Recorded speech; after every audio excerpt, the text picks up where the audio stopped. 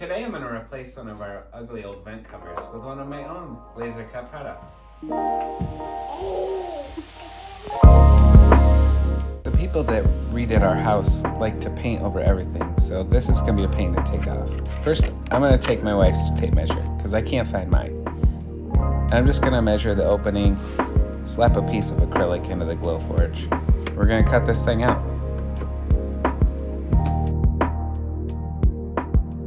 I have a lot of different designs on my Etsy store, but we went with this one just because uh, our house was built in the 40s.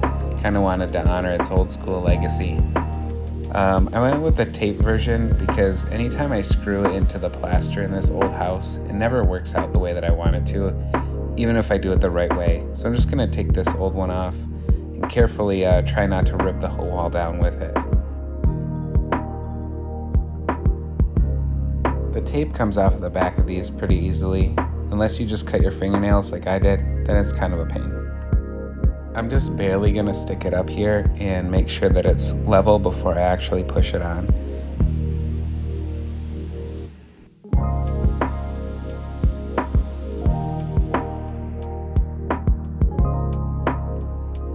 So yeah, it was actually pretty good where it was, uh, so I'm just going to push it onto the wall there.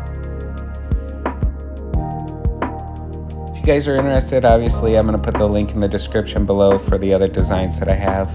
Um, if you like this video, just give it a thumbs up and uh, subscribe if you're not. And I'll uh, see you again next time.